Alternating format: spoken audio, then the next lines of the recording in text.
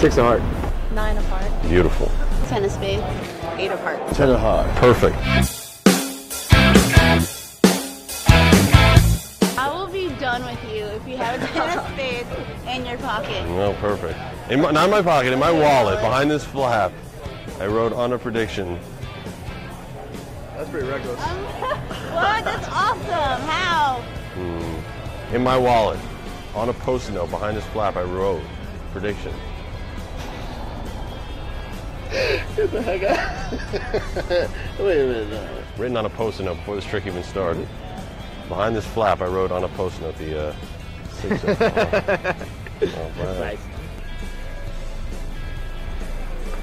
That's so hard. Almost like magic. No way. Yeah. Can I touch it? Yeah, here, you can have it if you want. Prediction. That's so weird. That's cool. I almost Enjoy. changed it halfway though. I know. That's Very crazy. cool. You know? Yeah, of course I know.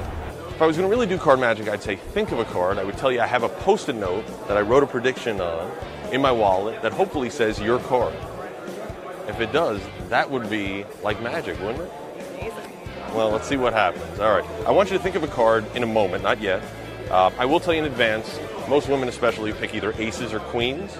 You can pick those if you want, but preferably don't because I want this to seem completely impossible, all right? So look into my eyes. Got a card? What card do you think you have? Eight of hearts.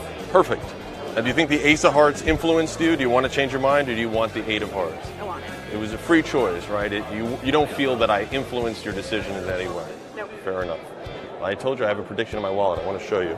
Now, if that's prediction on the post-it note says your card, that would be magic,